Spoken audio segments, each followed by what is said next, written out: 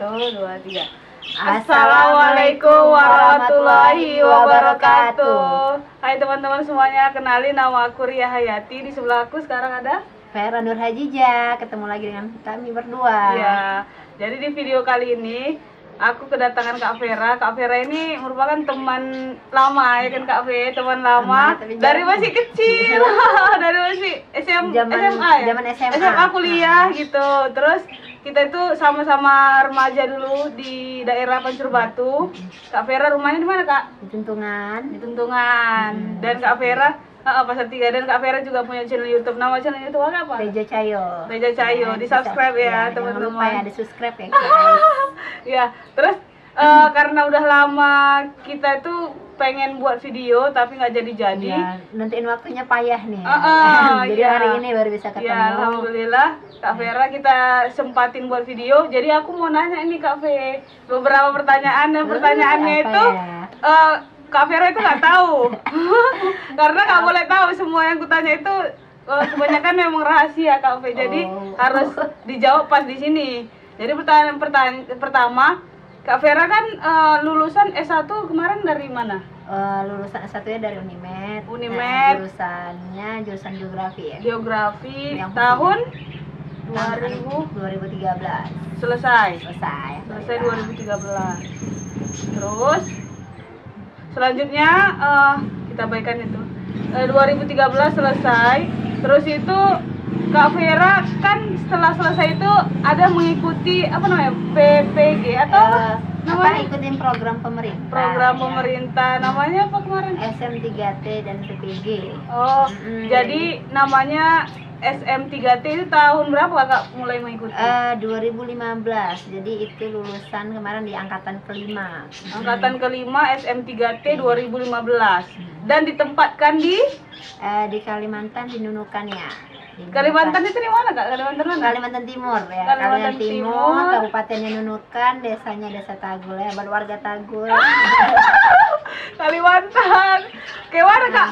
Pengalaman eh, setelah mengikuti SM3T di Kalimantan dan belum pernah pulang selama berapa tahun? Setahun. Tahun, ya, setahun. Tahun di Kalimantan itu coba kakak kasih tahu lah pengalamannya Eh, gitu. pengalamannya banyak, alhamdulillah ya pasti kangen lah sama orangnya Di sini, keluarga di ya. sini, Eh, ah. Emang setahun kemarin nggak pulang. Ah, Ya, itu itu lumayan ya ongkosnya dari Iya, Kalimantan ke Medan. mahal ya. Mahal. Jadi Terus kalau- ilmu yang didapatkan Eh, ilmunya di sana kita akan berbagi eh di sana kita mengajar juga Mengajar. mengajar di, de- di desa gitu di sekolah saya kemarin ngajarnya di SMP 4 Tagul SMP Tagul Negeri 4 namanya. nah, Mm. nama desanya desa Tagul jadi ngajar di eh, mata pelajaran di apa geografi. Ah, enggak Jadi jadi di sana luar biasanya saya mengajar itu yang bukan jurusan saya sih Hmm. jadi ngajar di sana agama Islam Heeh. sama Indonesia sama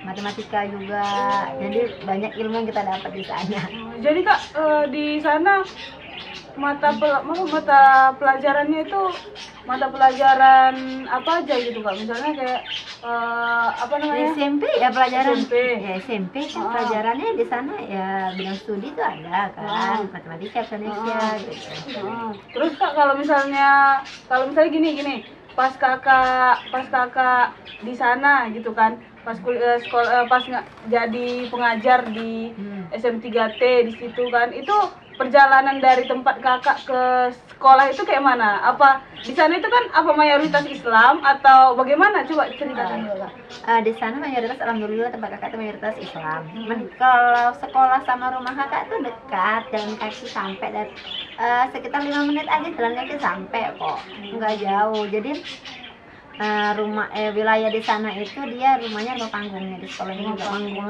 jadi eh, sekolahnya juga rumah panggung gitu kan. Siswanya nggak banyak waktu itu, cuma 20 orang satu sekolah. Teman-teman kakak yang seangkatan untuk mengikuti program ini gimana? Eh, kami alhamdulillah di situ kemarin dua orang ditempatkan di desa itu. Jadi setiap desa tuh ada yang dua, ada yang tiga, nggak banyak memang. Ada yang satu lagi.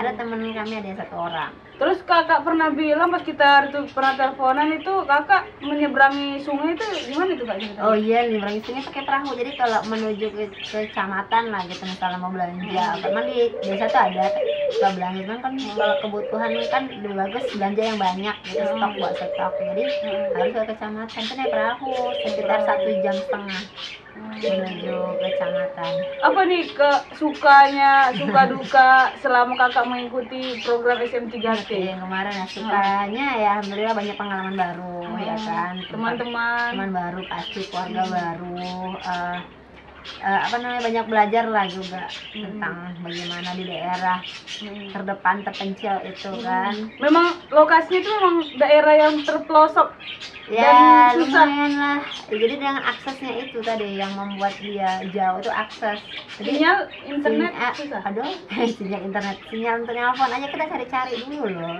Ya ampun. Berarti selama setahun kakak nggak pernah pakai internetan? Eh, pakai dong kalau ke kecamatan kan towernya kan Oh, jadi paling video call gitu kan bisa video Ah, call jadi di situ lah. Mm-mm, nah, kalau di rumah paling teleponan aja. Hmm. sinyalnya kan tuh ya cari-cari dulu.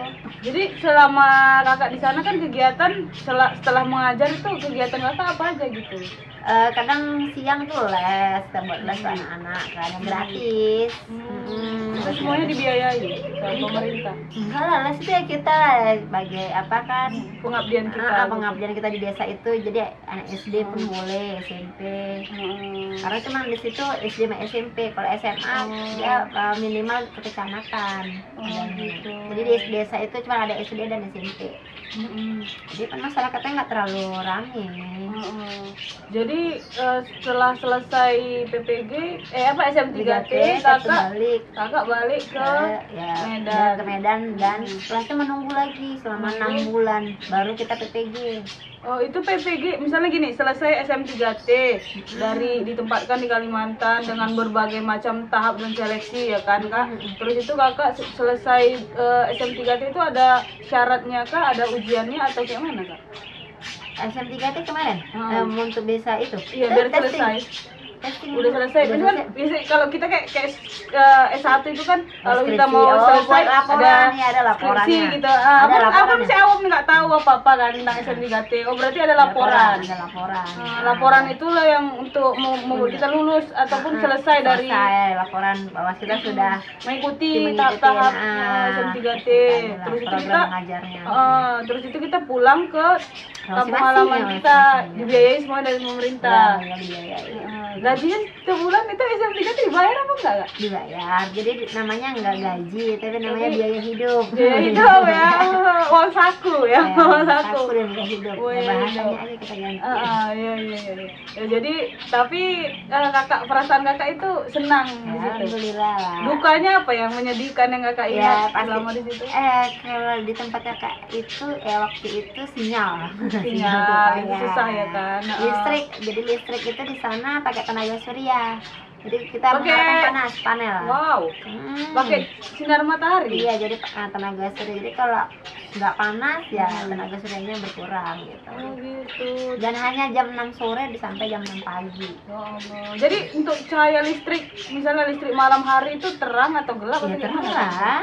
Udah sampai semuanya. Semua, alhamdulillah semua satu desa itu pakai tenaga surya semua. Ah, gitu. Terus kak, kak, eh, ini kan isu bukan isu sih sekarang udah udah direncanakan kalau misalnya apa namanya ibu kota kita akan pindah ke Kalimantan Kalimantan. karena karena aku masih belum tahu juga di mana Kalimantannya dan menurut pendapat kakak kakak setuju atau enggak eh, ini pemindahan ibu kota ini ke Kalimantan. Menurut kakak, kakak yang udah pernah ke Kalimantan lah gitu ya kan setuju. Nggak ada setuju tapi sekarang sudah disetujui oleh pemerintahan kita Ah, ya. Udah menurut kakak menurut kakak Eh, eh, kalau kalau setuju kayak mana? Ah, setujunya gini ya, secara geografinya itu. Orang geografi ya orang Nah, geografi. jadi wilayah wilayah Ah. Kalimantan itu kan dia satu bebas yang namanya eh, gempa. wow. Ya wilayahnya itu dia tidak dilewati jalur eh, cincin apinya itu. oh gitu. Jadi kalau dari segi itu kan kemarin juga eh, dengar dari segi itunya juga. Hmm. Men dari segi wilayah juga ya kan. eh, Jakarta Hmm. kita ketahuin Rawan banjir. Kalau Jakarta rawan padat, pusat Padat. kota, Hmm. macet, Ya, Jakarta lah. lah semua. banjir. ya luar biasa ya. Ah. Nah jadi kan itu kan eh, di wilayahnya Kutai daerah Kutai itu eh, apa namanya dibilang wilayah yang butuh banyak sejarah di situ ya Oh, Kutai itu ya kerajaan Kutai Kerajaan Kutai di Kalimantan? iya Oh gitu. ya wilayah yo Sejarahnya berapa jadi, ini? memang eh, jadi banyak yang Ah. di eh, pemindahan itu sih banyak yang dipikirkan itu Pertimbangkan. pertim- pertimbangkan Ah, kalau menurut kakak, kakak eh, suka atau tidak suka sebenarnya? Eh, suka Kalau- ya suka, suka. lah karena itu tadi kalau secara ininya kita lihat Geografisnya geografisnya bagus ya? bagus. Eh, eh, tapi kalau misalnya nggak su nggak Ya akses wilayah memang ya, ke sana memang agak sulit ya pasti Iya. namanya jalurnya jalur transportasinya air Oh. jadi kita ke mana-mana naik speed naik perahu ya itu tadi Oh, karena di Kalimantan itu memang mayoritas wilayahnya perairan Perairan. Oh gitu.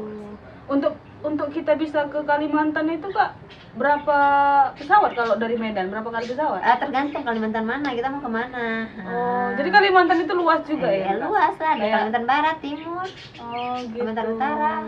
Hmm, tapi yang di tempat kakak ini kakak merasa eh, kayak mana? Senang atau dari ya baru lain? yang lain kayak mana? suka dukanya ya eh, berbagi daerah kami kemarin tuh beda eh, banyak wilayah ya yang zaman saya itu angkatan kelima itu Hmm. ada di Aceh Mm-mm. ada di Papua Wow, Papua. ada di hmm, Maluku ada di Hmm. Sulawesi Mm-mm. ada di Kalimantan Hmm. terus ada eh, eh, Papuanya ada dua ada Hmm. eh, ada di Lanijaya dan di Asmat Oh, Papuanya suku Asmat, Nah, di Asmat sana Mm-mm. kalau Kalimantan ada di Kalimantan Utara ya Hmm. kan udah ada delapan wilayah itu dia Wow. Tapi memang luar biasa kali Kak kalau misalnya bisa ke Kalimantan dan eh, kira-kira memang di Kalimantan jadikan ibu kotanya dan kalau menurut pendapat Ria itu juga bisa jadi penghasilan dan mendongkrak masyarakat, ya benar eh, di Kalimantan. Ya, Terus benar. itu banyak juga orang yang berinvestasi mungkin atau mau beralih ke Kalimantan karena Ya. mungkin nanti peluangnya entah dari gajinya atau apanya pasti akan naik semuanya kan Kak dan akan banget. mahal Iya, benar gitu. banget. Karena memang di Jakarta kita lihat sendiri penduduk di Jakarta itu udah sangat banyak dan padat kali kan Kak. padat ya kalau cerita Ah. padat padat lah ada Terus itu sama kayak di Medan juga kan, padat juga. Terus kayak mana ada wacana? Ada wacana eh, apa namanya eh, Jakarta itu butuh banyak jadi kan ini kan mau direlokasikan Heeh. di Jakarta hanya untuk Wisata. perekonomian Perekonomian. Oh, Nah, gitu, jadi hanya iya. perekonomian nanti di Ah. Jakarta gitu Oh, oh. tapi Pemerintahan. pemerintahan di Kalimantan. Wow, keren. Jadi memang s- mungkin yang dipertimbangkan pemerintah mungkin udah banyak ya nggak pertimbangan. Jadi memang yang seharusnya seperti itu, yang eh, apa biar kita itu bisa jadi negara maju ya kan. Iya.